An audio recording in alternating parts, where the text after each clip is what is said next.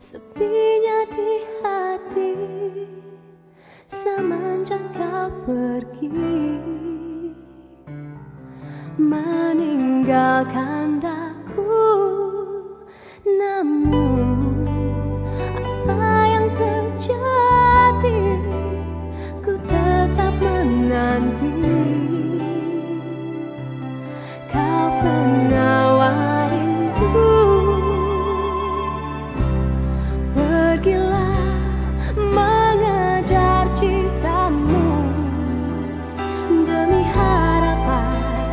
dibahas.